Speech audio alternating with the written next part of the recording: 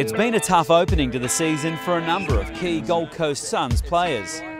Obviously, I was in a bit of pain and I kind of hobbled off the ground and I was a little bit worried. Um, you know, for the I guess for the first 24 hours. Uh, look, he had a hyperextension injury where he tried to uh, run forward and his leg got forced uh, into extension. So uh, the result of it from scans showed that he had a bit of bruising at the front of his knee and also strained what's called the posterolateral corner of his uh, knee capsule.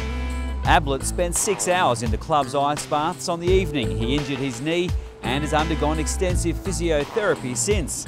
Effort, club strength and conditioning coach Andrew Weller believes will greatly reduce Gary's time on the sidelines.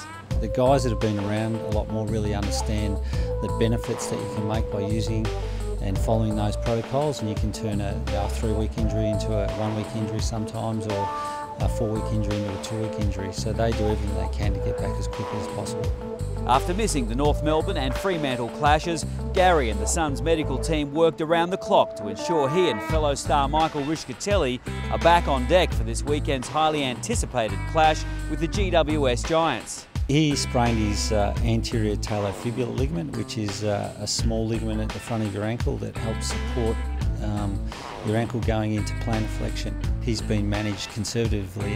While Michael and Gary are on track to take their place in the Suns lineup, the news isn't as good for Jarrod Harbrow, who'll miss a big chunk of the season after suffering a serious arm injury against the Lions in round four.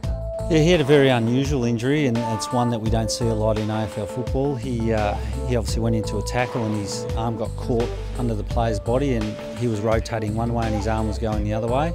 The injury made the joint unstable, and after receiving further medical opinion, it was decided the only way forward was surgery. More on Jarrod's recovery next week.